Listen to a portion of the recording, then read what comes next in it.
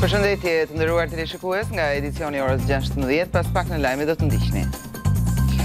Mbërrin në vendin tonë grupi i parë i emigrantëve nga Italia, zbatimi i marrëveshjes u bë me 16 refugjatë nga Egjipti dhe Bangladeshi të shpëtuar në det. Pasi dosja Partizani shkoi në gjykatë, caktohet gjyqtarja që do ta shqyrtojë. Ajo u zgjodh me short elektronik, ndërsa ish-kryeministri Berisha akuzohet për korrupsion pasiv. Nga një kontroll i gjerë i Policisë së Tiranës ka rezultuar se tridhjetë klinika estetike vepronin në paligjshmëri pasi përdorin medikament botox të kontrabanduar. Janë vënë në pranga tre administratorë të subjekteve të ndryshme. Ushtria izraelite godit një ndërtesë në një qytet në jug të Libanit ku humbën jetën të paktën gjashtë persona dhe u plagosën disa të tjerë, Sulmet do të vijojnë pasi Netanyahu ka hedhur poshtë idenë për një armëpushim. Kristjan Asllani zgjidhet në formacionin ideal të divizionit B të Ligës së Kombeve. Autori i golit të fitores kundër Gjeorgjisë u vlerësua me notën e lartë tetë pikë gjashtë, mesfushori ynë është i dyti më i vlerësuar në këtë përzgjedhje.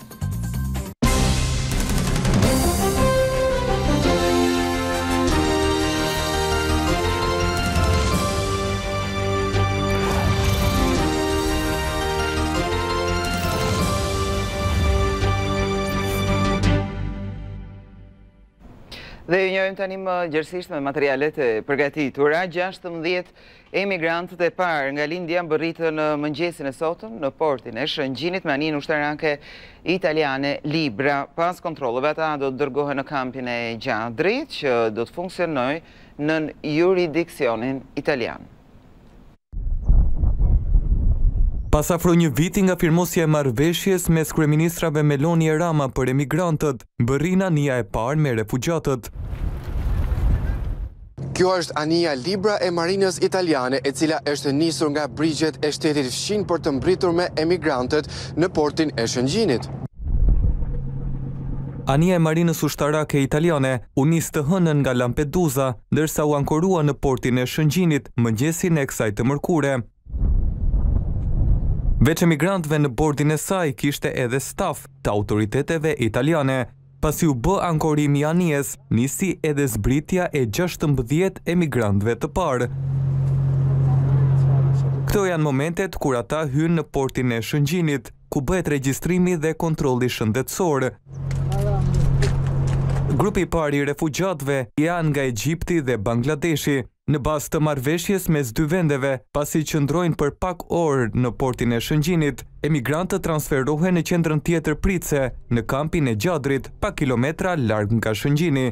Në këtë kamp refugjatët do të qëndrojnë derisa të përfundojnë procedurat e azilit. Bazuar në marrëveshjen mes dy vendeve, e para mes një vendi anëtar të Bashkimit Europian dhe një tjetër shteti jo-anëtar, Personat të cilët do të qëndrojnë në këtë kamp do të jenë vetëm meshkuj. Marrëveshja pesë vjeçare parashikon që brenda një viti të mbërrijnë deri në tridhjetë e gjashtë mijë refugjatë, të cilët shpëtohen në det nga autoritetet italiane. Spanja po shqyrton mundësinë e përdorimit të një aeroporti privat si qendër pritjeje për emigrantët ilegalë, njoftimi Nga autoritetet spanjolle u dha pas thirrjes që bëri presidentja e Komisionit Europian, Ursula von der Leyen, për të gjetur zgjidhje inovative dhe pse jo të ndjekin modelin Shqipëri-Itali. Qeveria e kryeministrit spanjoll Pedro Sanchez planifikon që të shfrytëzojë objektet e një aeroporti privat për ta kthyer atë në një qendër pritjeje për emigrantët ilegalë. Sipas autoriteteve spanjolle bëhet fjalë për aeroportin Ciudad Real që ndodhet në jug të Madridit. Aeroporti mund të shërbejë si një vend për të ofruar kujdes të përkohshëm për ata që mbërrijnë ilegalisht në bregdetin spanjoll. Përbëhet nga një ndërtesë terminali njëzet e katër mijë metra katrorë dhe një pistë katër mijë metra e gjatë. Aeroporti u hap në vitin dy mijë e tetë dhe katër vite më vonë shpalli falimentin dhe që atëherë aty janë ulur vetëm avionë privatë.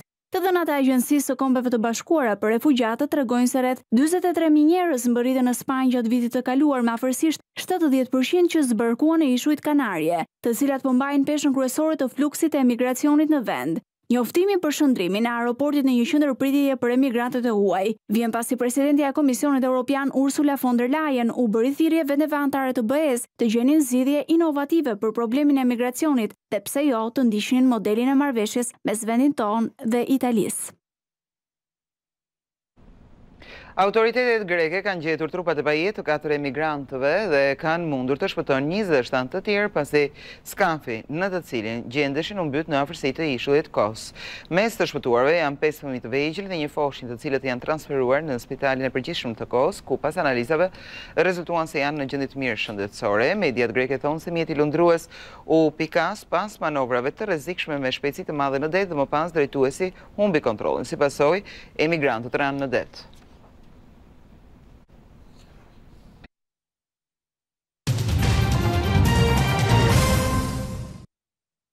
Kryeministri Edi Rama përmes një mesazhi në rrjetet sociale ka shprehur krenarinë për mbajtjen e konferencës së dytë ndërqeveritare për çeljen e grup kapitullit më të rëndësishëm të negociantave BE-Shqipëri, duke e cilësuar si një ditë të paharrueshme.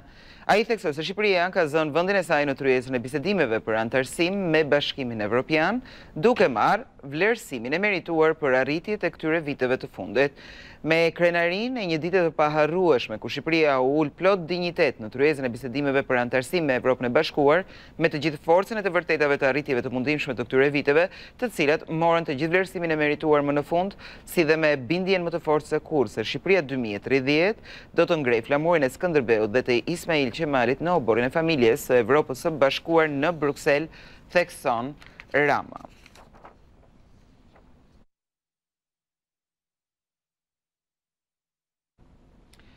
Mbi shtatëqind e gjashtëdhjetë e pesë mijë lekë të reja llogaritet dëmi i shkaktuar nga djegia e karrigeve në Parlament. Gazment Bardhi, Flamur Noka, Bledion Nallbati dhe Elda Hoti do të duhet që deri në njëzet nëntor të paguajnë vlerën ose do t'u mbahen nga paga.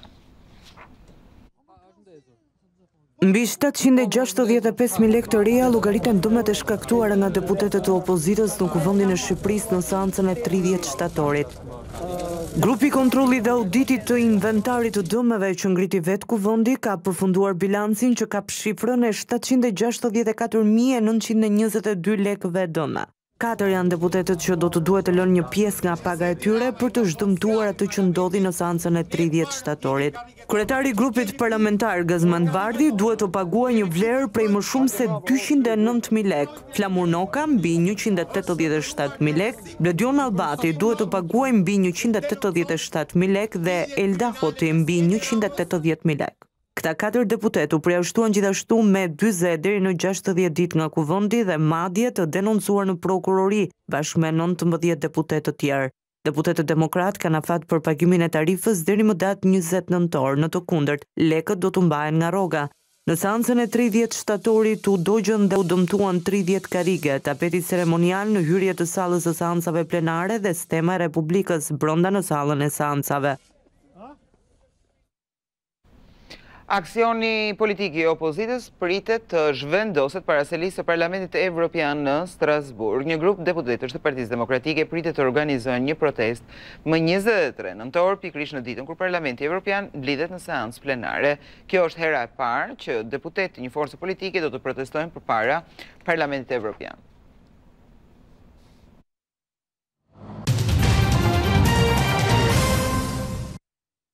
Një ditë pasi Spak dorëzoi dosjen Partizani në gjykatën e posaçme, shorti ka caktuar Flojera Davidhin si gjyqtare paraprake të çështjes. Spak e akuzon ish kryeministrin Berisha për korrupsion pasiv, ndërsa dhëndrin e tij, Jamarbër Malltezi për korrupsion dhe pastrim parash.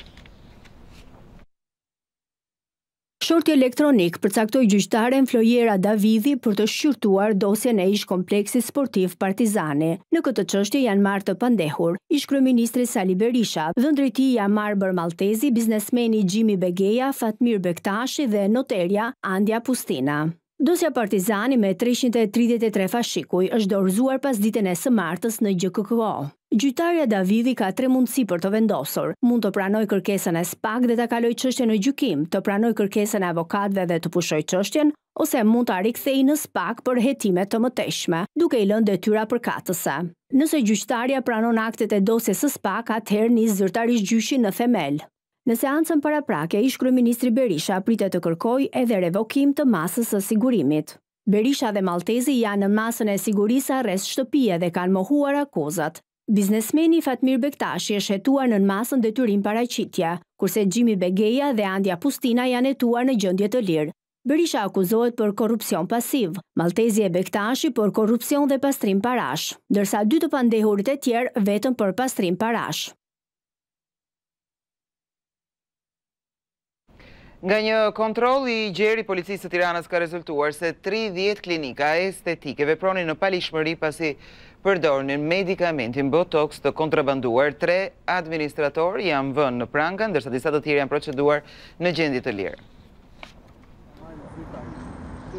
Policia e Tiranës ndërmori një aksion të gjerë ndaj klinikave estetike, Nga kontrollet janë gjetur në paligjshmëri tridhjetë subjekte. Ka rënë në pranga administratori i kompanisë që kontrabandonte medikamentin botulina toksin që shërben për ndërhyrjet estetike.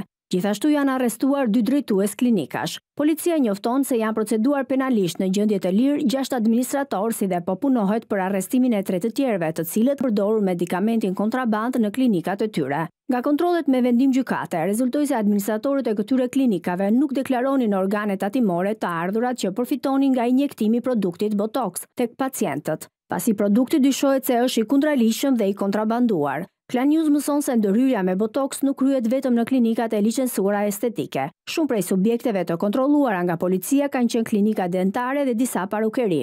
Për përdorimin e Botoksit në Shqipëri ka një boshllëk ligjor. Ky medikament ende nuk lejohet të përdoret, ndonëse janë licensuar shumë klinika estetike prej vitesh. Qeveria ka miratuar vendimin për rregullat dhe procedurat e përzgjedhjes së drejtuesve të Policisë së Shtetit.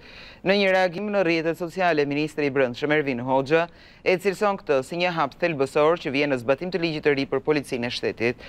Për herë të parë, normohet përmes një procesi konkurrues duke garantuar që përzgjedhja të bëhet në bazë të meritës, integritetit, profesionalizmit dhe transparencës për të siguruar një udhëheqje më efektive dhe një polici më të përgjegjshme përpara qytetarëve, thekson Hoxha.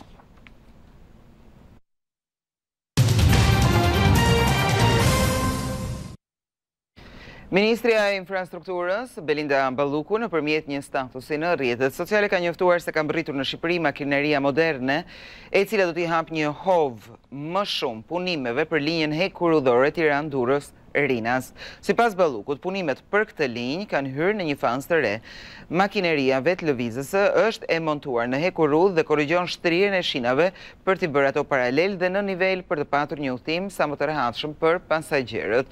Sipas ministres Balluku, linja hekurudhore Tiranë-Durrës-Rinas do të jetë një linjë tërësisht elektrike me një impakt të rëndësishëm në fushën e transportit në vend.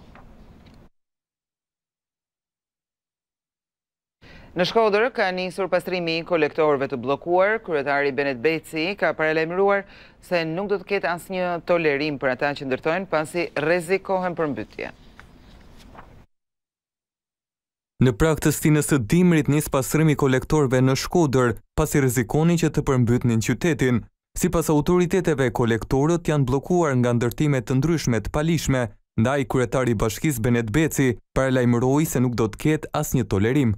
Ne kemi të prekosh i punojmë pastrojmë pjesë pjesë ndërhyrja duhet të jetë shumë e vendosur dhe shumë e fortë problemet e gjitha ndërtimeve pa leje bllokimeve mbi kolektor janë të papranueshme.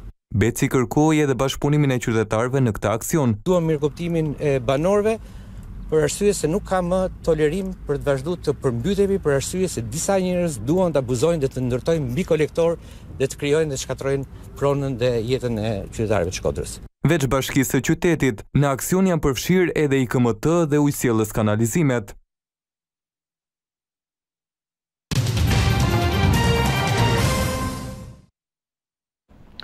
Hidhet për konsultim publik strategjia e turizmit 2024-2030 e cila parashikon vendosjen e taksës së sheshtë për strukturat akomoduese afatshkurtër. Synohet që të rriten investimet në hoteleri, ndërsa planifikohet që numri i shtretërve pas gjashtë vitesh të shkojë mbi katërqind e shtatëdhjetë e shtatë mijë. Ministria e Turizmit dhe Mjedisit ka hedhur për konsultim publik Strategjinë e Turizmit dy mijë e njëzet e katër, dy mijë e tridhjetë. Synimi i kësaj strategjie është turizmi i qëndrueshëm, ndërkohë që parashikohet dhe vendosja e një takse të sheshtë për strukturat akomoduese afatshkurtër e cila sipas skenarit të qëndrueshëm do të jetë pesëdhjetë euro dhe llogaritet në varësi të numrit të shtretërve. Kjo gjë do të sjellë rritje të të ardhurave për buxhetin e shtetit nga taksa e turizmit, pasi aktualisht të ardhurat nga taksa e fjetjes llogariten në masën e njëzet e një milionë eurove dhe parashikohet të arrijë në shtatëdhjetë milionë në dy mijë e tridhjetën, ndërsa shtimi i taksës së sheshtë parashikohet në nivelin e katërmbëdhjetë pikë katër milionë eurove në dy mijë e tridhjetën, duke bërë që totali i të ardhurave nga taksat e turizmit të arrijë në tetëdhjetë e pesë milionë euro. Në strategji përcaktohet se për të rritur të ardhurat dhe për të formalizuar sektorin, pasi strukturat akomoduese operojnë të paregjistruara dhe nuk deklarojnë shifrat reale të pushuesve dhe të xhiros së tyre do të ngrihet një Task Forcë për frenimin e ekonomisë informale, e cila do të identifikojë strukturat akomoduese të paregjistruara. Sipas strategjisë së turizmit do të ketë dhe një rritje të investimeve në hotele, pasi numri i shtretërve në strukturat akomoduese synohet të rritet, nga pesëdhjetë e nëntë mijë shtretër në dy mijë e njëzet e treshin në mbi njëqind e tridhjetë e dy mijë shtretër në dy mijë e tridhjetën. Ndërkohë që rritje vlerësohet të kenë edhe strukturat akomoduese afatshkurtër, pra apartamentet që jepen me qera ditore, Sipas këtij drafti, në pesë vitet e ardhshme do të ketë një rritje me shtatëdhjetë e gjashtë për qind të numrit të shtretërve në total, nga dyqind e shtatëdhjetë mijë në vitin dy mijë e njëzet e tre, në rreth katërqind e shtatëdhjetë e shtatë mijë shtretër në dy mijë e tridhjetën. Sipas kësaj strategjie, vendi ndahet në gjashtë klastera turistikë, klasteri i bregdetit Adriatik, ai i veriut të brendshëm, klasteri i Tiranës, klasteri qendror, ai i bregdetit Jonian dhe jugu i brendshëm, ku veç bukurive natyrore, siteve kulturore, një vlerë i jepet edhe agroturizmeve dhe kulinarisë. Muzeumet e Vlorës tërheqin çdo vit e më shumë interesin e vizitorëve, nuk janë vetëm shqiptarë të diasporës, por edhe turistë nga shtete të ndryshme. Jo vetëm për detin, por turistët e zgjedhin Vlorën edhe për kulturën. Interes të lartë ka për zonën historike të qytetit, ndërsa nuk largohen pa ndaluar në muzetë e Vlorës. Sipas të dhënave, deri në shtator, ka një rritje të konsiderueshme krahasuar me vitin dy mijë e njëzet e dy. Me dy vite përpara ne jemi dyzet e pesë deri në dyzet e tetë për qind më shumë, në bazë statistikave që ne mbajmë për vizitorët ditorë apo vizitorët brenda një muaj që i vizitojnë muzetë e qytetit dhe kjo vazhdon të ruhet ende kjo kjo lloj statistike edhe në muajin shtator, shikojmë muajin tetor në vazhdim. Përveç shqiptarëve të diasporës, të cilët shprehin interes të veçantë, ka vizita edhe nga turistë nga shtete të ndryshme. Kryesisht nga Italia, nga vendet e Evropës Perëndimore, spanjollë dhe portugezë, por edhe nga Azia e Largët, të cilët janë bërë pjesë e vizitave në muzetë e qytetit. Nisur nga interesi i lartë nga vizitorët, muzetë e Bashkisë së Vlorës qëndrojnë të hapura me orar të zgjatur. E përditshmja britanike Independent i bën jehonë plazheve magjepsëse të Shqipërisë. Kjo media thekson se nuk është vetëm bregdeti i këtij vendi që thith turistë. Korrespondentja e të përditshmes britanike Independent, Maya Oppenheim, kthehet në Shqipëri pas më shumë se një dekade nga vizita e saj e parë. Ajo shkruan se në udhëtimin e parë në dy mijë e dymbëdhjetë erdhi me një anije nga Korfuzi, ndërsa këtë vit erdhi nëpërmjet fluturimit direkt nga Londra në aeroportin e Rinasit dhe si qëllim kryesor kishte Kala Festival, një festival muzikor i cili organizohet në bregdetin e Dhërmiut. Një vend i mbushur me ujëra të pastra kristal, të cilin do ishte bukur ta vizitonit, pavarësisht festivalit, rekomandohet në artikull. Ndërsa pjesa më interesante ishte udhëtimi në plazhin e Gjipesë me një anije motorbajk. Sipas artikullit, ky është festivali i parë ndërkombëtar në Shqipëri dhe ofron njëkohësisht rekreacionin dhe relaksin, duke kaluar në mënyrë të përsosur kufiri midis festivalit dhe festës, një event i cili është bërë gjithnjë e më popullor me kalimin e viteve. duke thithur edhe më shumë turistë të apasionuar me muzikën. Sipas shkrimit të Independent, popullariteti i destinacionit të ri të pushimeve vazhdon të rritet, ndërsa ekspertët e udhëtimeve e kanë konsideruar me të drejtë Rivierën Shqiptare si Maldivet e Europës dhe padyshim ia vlen të vizitohet. Por veç bukurive të plazheve të jugut, Shqipëria është konkurruese me vendet e tjera europiane për çmimet e lira, ushqimin e shijshëm dhe cilësinë e shërbimit. Independent shkruan se Shqipëria është shumë më e lirë se shumica e vendeve evropiane dhe një vakt i shijshëm në Tiranë ofrohet me çmim të arsyeshëm, rreth njëzet paund personi, edhe pse në restorantë mjaft luksozë. Tridhjetë e dy për qind e vizitave në qendrat shëndetësore verore ishin nga turistë të huaj. Ministrja Albana Koçiu theksoi se këtë vit numri i këtyre qendrave është rritur me njëzet për qind. Në tridhjetë e katër qendra shëndetësore verore nga një qershori deri më tridhjetë shtator janë realizuar mbi tetëdhjetë mijë vizita mjekësore, ku tridhjetë e dy për qind e tyre ishin për shtetas të huaj. Kështu u shpreh nga Vlora ministrja Albana Koçiu duke e konsideruar si mision me sukses këtë shërbim. Afërsisht shifrat janë diku te tetëdhjetë mijë vizita që përballuan qendrat shëndetësore verore, një rritje me afro njëzet për qind nga viti i shkuar, gjë që na tregon që patjetër do duhet të shtojmë akoma më shumë furnizimet me barna, patjetër, por ndërkohë edhe të vlerësojmë ato pika turistike të cilat patën ngarkesë. Ministrja e Shëndetësisë nënvizoi se qendrat shëndetësore verore që pritën fluksin më të madh ishin në Velipojë, Mali i Robit dhe Orikum dhe për përballimin e tij u angazhuan rreth dy mijë e njëqind mjekë, infermierë dhe staf mbështetës. Specialistët thonë se në shumë raste kushdo mund të japë ndihmën e parë përjashto aksidentet. Ata theksojnë se ndihma e parë shpëton jetë. Zero tetë, zero nëntë, dhjetë, nuk merr frymë, po filloj masazhin kardiak. Ndihma e parë ndaj një personi kur është në një situatë kritike është jetëshpëtuese.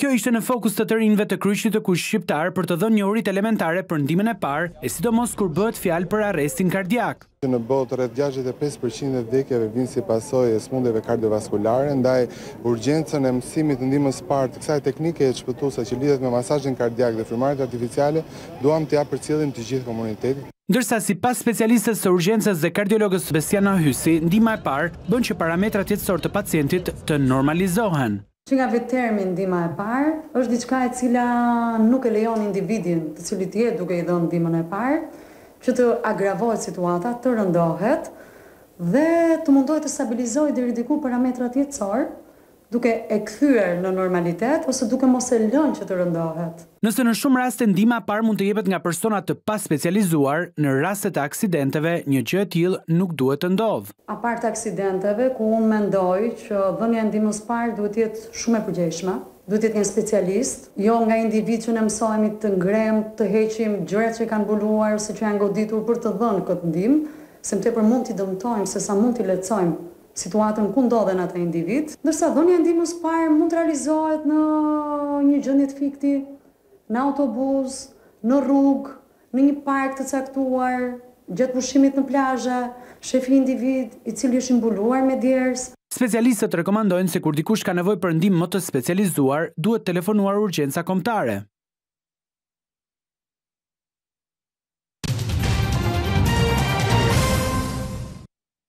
Ushtria izraelite ka goditur një ndërtesë në Nabatje, një qytet i madh në jug të Libanit, ku humbën jetën të paktën 6 persona dhe u plagosën disa të tjerë. Sulmet do të vijojnë pasi kryeministri Netanyahu ka hedhur poshtë idenë për një armëpushim. Pavarësisht garancive që mori kryeministri i Libanit nga Shtetet e Bashkuara të Amerikës se Tel Avivi do të reduktonte sulmet, ky i fundit po bën të kundërtën. Sulmet ajrore izraelite në qytetin Nabatie i morën jetën të paktën gjashtë personave dhe dyzet e tre të tjerë u plagosën. Në mesin e viktimave është edhe kryetari i bashkisë i cili po merrte pjesë në një takim së bashku me katër punonjës të bashkisë. Numri i viktimave mund të rritet sepse në rrënoja po kërkohen ende për persona të tjerë. Kryetari i bashkisë, Ahmad Kahil dhe stafi i bashkisë kishin qëndruar në Nabatie për të ndihmuar njerëzit që kanë zgjedhur të mos ikin nga shtëpitë e tyre. Ushtria izraelite konfirmoi sulmet në Nabatie dhe u shpreh se në shënjestër ishin dhjetra objektiva terroristë të Hezbollahut, Më herët ushtria izraelite kreu një sulm në një depo armësh nëntokësore të grupit Hezbollah në periferitë jugore të Bejrutit, Dahie. Kryeministri i Libanit, Najib Mikati dënoi bombardimet izraelite në Nabatie duke i cilësuar ato një masakër. Kryeministri Benjamin Netanyahu ka hedhur poshtë idenë e një armëpushimi në Liban. Më herët, ai i tha presidentit francez Emmanuel Macron se ishte kundër një armëpushimi të njëanshëm që nuk ndryshon situatën e sigurisë në Liban dhe që do ta kthente vendin në gjendjen e mëparshme. Situata në veri të Gazës po përkeqësohet dita-ditës për shkak të mungesës së ushqimeve dhe ilaçeve për të diskutuar për katastrofën humanitare u kërkua një takim urgjent në Këshillin e Sigurimit të OKB-së nga Britania dhe Franca. Spitaleve në veri të Gazës po u mbarojnë ilaçet dhe ushqimet. Zyrtarët palestinezë të shëndetësisë bëjnë thirje për një korridor humanitar në tre spitale, ku mjekët kanë refuzuar të lënë pacientët e tyre pavarësisht urdhrave të evakuimit të lëshuara nga ushtria izraelite. Gjendja e rëndë humanitare ka alarmuar mbarë botën, me Shtetet e Bashkuara të Amerikës që kanë lëshuar një nga paralajmërimet më të forta ndaj Izraelit se duhet të përmirësojë situatën ose përndryshe do të përballet me një embargo armësh. Pas presionit të Uashingtonit, ushtria izraelite lejoi që pesëdhjetë kamionë me ndihma të hynin në veri të Gazës. Britania e Madhe dhe Franca kanë thirrur një takim urgjent në Këshillin e Sigurimit të OKB-së për të diskutuar situatën e rëndë humanitare në Gaza. Sekretari i Jashtëm britanik David Lammy tha në një deklaratë se Izraeli duhet të sigurojë që civilët të mbrohen dhe rrugët të jenë të hapura për të lejuar kalimin e ndihmave humanitare. Palestinezët e zhvendosur nga konflikti tashmë po përballen me mungesa të mëdha në ushqime. Unë pres një katastrofë shumë të madhe, duhet të them të një lloji të veçantë. Pse? Sepse shumica e të rriturve dhe fëmijëve do të vdesin nga uria. Dhe izraelitët po e bëjnë këtë qëllimisht. Ata po e bëjnë këtë rrethim për të vrarë popullin në një mënyrë ose një tjetër, jo nga sulmet, por nga uria. Qëllimi është poshtërimi i popullit palestinez. Ndërkohë Londra po planifikon vendosjen e sanksioneve ndaj ministrit izraelit të Financave dhe ministrit të Sigurisë Kombëtare mbi komentet që ata kanë bërë në lidhje mbi konfliktin.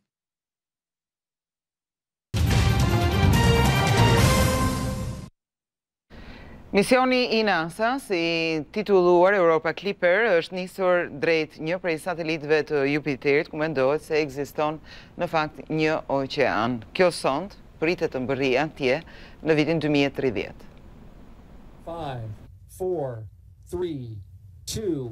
Është nisur në hapësirë me sukses misioni i NASA-s Europa Clipper, me qëllim eksplorimin e njërit prej satelitëve të Jupiterit, Evropën. Kjo hënë mendohet se fsheh një oqean nën shtresën e akullt dhe natyrisht forma jete. Sonda u nis nga platforma Kennedy Space Center në Florida, pasditen e katërmbëdhjetë tetorit dy mijë e njëzet e katër. Udhëtimi i saj do të zgjasë rreth pesë vite pasi është përllogaritur që në vitin dy mijë e tridhjetë të mbërrijë në destinacion një distancë rreth tre miliardë kilometra, kur të mbërrijë sonda nuk do të hyjë në orbitën përreth Hënës, Evropë, pasi radiacionet e forta të prodhuara nga planeti Jupiter do të dëmtonin shumë instrumentet e saj. Plani është t'i afrohet satelitit me një distancë të sigurt gjatë dyzet e nëntë rrotullimeve që do të kryejë në kuotë të ulët deri në njëzet e pesë kilometra nga sipërfaqja. Kjo do të jetë e mjaftueshme për të krijuar një hartë të qartë dhe të plotë dhe të kuptohet nëse ky satelit i ka vërtet kushtet e përshtatshme për forma jete. Deri tani mendohet se temperaturat aty janë rreth minus dyqind e njëzet gradë Celsius dhe në atmosferë ka predominancë të pranisë së oksigjenit. Në brendësi të sondës është vendosur dhe një mikroçip me një poezi, e titulluar Evropa, dhe disa mijëra emra nga toka si mesazh në shishe që tashmë kanë nisur udhëtimin në hapësirë. Ishte gjithçka e përgatitur për këtë edicion lajmesh. Faleminderit që na ndoqët.